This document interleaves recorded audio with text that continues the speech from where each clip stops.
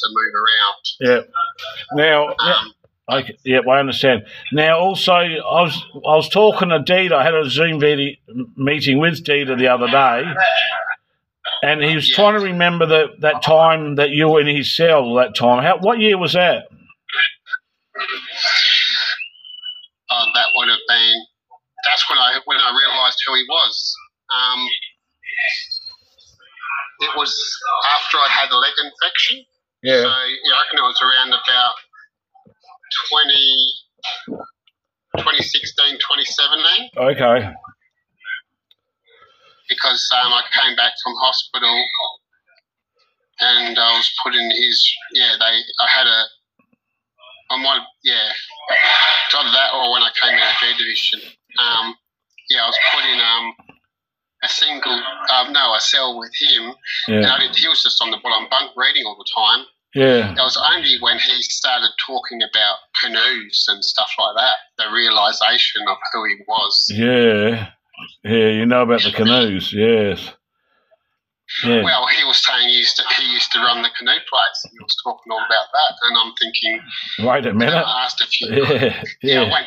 I, I went. I went fishing, and um, but um, I know that he was made to like.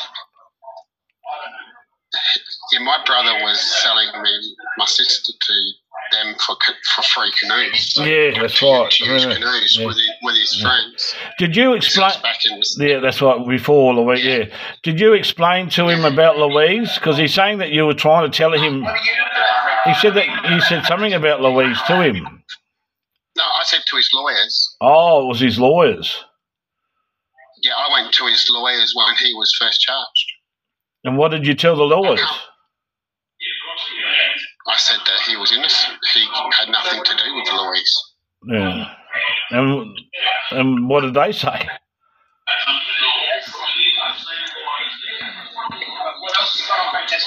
Um, I don't know. I gave, I gave the account of what I remembered happened, Yeah. and this was around the same time.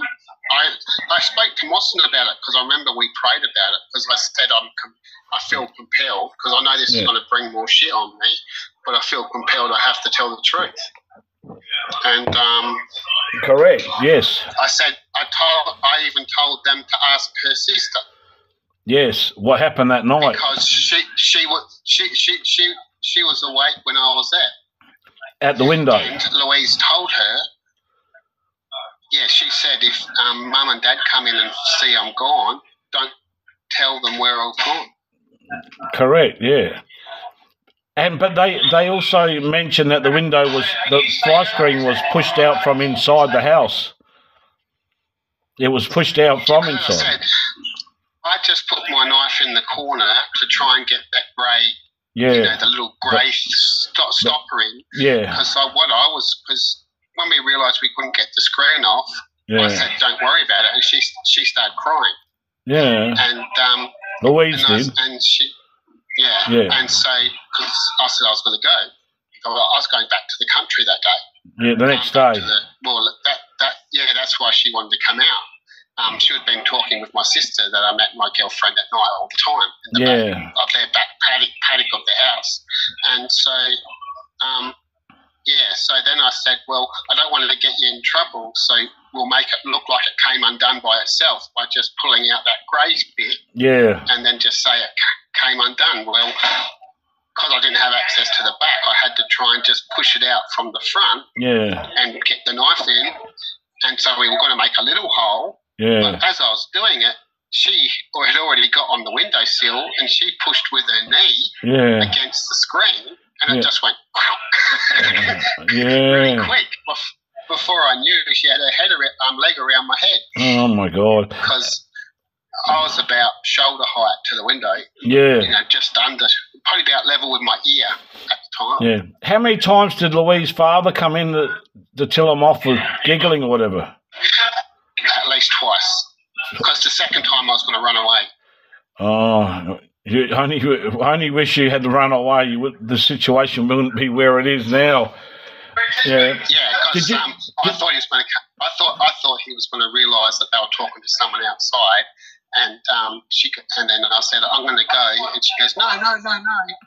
And then I waited and we were quiet for a while. And then, yeah, because it seemed like forever because she wasn't going to go until her parents went to bed. Yeah. Did, did, was Louise's sister still awake when the screen got pushed open? Um, I can't remember. I would say probably she would have, if she just started to doze off, she probably would have still woke up. What time? What time do you reckon it was on that night? Oh, I, no, I didn't have a watch. I just No. remembered it was dark and um, their mum, the, their parents must have been in the lounge room because the light was coming in under their bedroom door, Yeah. and she kept looking over lo- over towards the door, Yeah. and then. She, she goes, oh, they'll go to bed soon. So we were telling jokes and telling stories and stuff. Yeah. Yeah. And, and, and her sister was awake a long time during that. Yeah. So her sister can vouch that Louise was talking to a young boy at the window Yeah, of that night, yeah. And then we've got my life. Yeah, I know. I I I, I understand. You, I, you know, I know Her you're. sister was. You know, I sister was understand. this side, and Louise was this side. Yeah. Well, you know, Stan told me what what went on with your father about Louise. So this is why it's sad that that they've they've set set a guy up that shouldn't be in jail. The um and Well, that, I think what linked, linked him to that, um, being set up for that, is the fact what happened in the seventies. Regarding what happened between me and my sister, and him and his friend and my brother when Dad and his police bashed him and his mate up, yeah and so they had their the details and all that, yeah. And then um, they even took her clothes apparently. Because remember, I said the police came and got the clothes. yeah and they dumped them in the in the water near where them in the area of the uh, um. So these clo- these pajamas would have had salt salt saturated through the clothes. Well, I was told that um, the clothes were actually found in the Onkaparinga wetlands. Oh yeah, I don't know if fit was that. I, I, I don't know. I don't know. That's only just what I was told. That, that's what because I, I only heard what Dad and the police were kind of like saying that they came back laughing a couple of weeks after they took the clothes. Yeah, and they were laughing with dad drinking because when you're a kid you sort of listen because the reason I was curious is because my brother had shown me the clothes you, you see to try and how how how long after when your father took Louise did you see the clothes? Um less than a week I mean, the week the week um after we came back. And that was at Yatina, no that was at Orroroo oh, and yeah and dad my brother my parents were out. Me and my brother were home. And I can't remember if my sisters were home or not but they my brother took me into my, my parents walk-in wardrobe. Yep, and up on right up right up the top he got a white shopping bag down. Yeah, and in, and inside was her pajamas and I think her earrings. And yeah maybe something else I remember there was some kind of jewelry in there and um, definitely earrings I think they might have been sleepers yeah, and um, but she had this matching set of um, like a summer pajama top and sort of like short things. Yeah. Do, do you you, when your when your father when you got when you were talking to Louise outside out on the road, were you in her street or another street when your father found you you and Louise together? No, no, no, no. We, we, well, see, I didn't know the area, so I followed Louise. Louise said she knew where to where to go, Yeah, and all I know it was up towards Beach Road yeah, because that's the road my dad walked down from. yeah, So it was it was within a block of Beach Road, yeah, but maybe a block and a half down. yeah, So between a block, because we were at a street light that was on our side. We were playing underneath a street light that was Yeah. on the side of the road, but the road we were on yeah, was ploughed, ploughed paddock one side and houses and streets the other. yeah, And um, and because we were actually hiding in the ploughed paddock Yeah.